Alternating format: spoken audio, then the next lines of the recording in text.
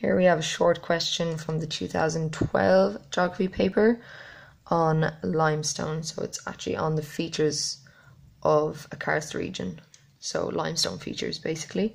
So we just have to match column X to column Y and we already have one done for us. So what we have is D and 1. So grikes are deep cracks in the limestone pavement. Next, we'll go with A, stalagmite. Deposits of calcite hanging from the roof of a cave, no. Blocks of limestone, no. Deposits of calcite on the floor of the cave, yes. So remember G in stalagmite for ground, deposits of calcite on the ground of a cave, basically. So A goes with 4. Clints are blocks of limestone, so it's the opposite of grikes, which are the cracks separating these blocks. So clints B goes with 3.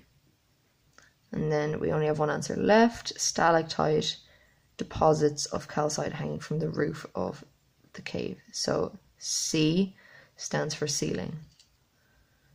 So that goes two. So that's our short question on limestone features complete.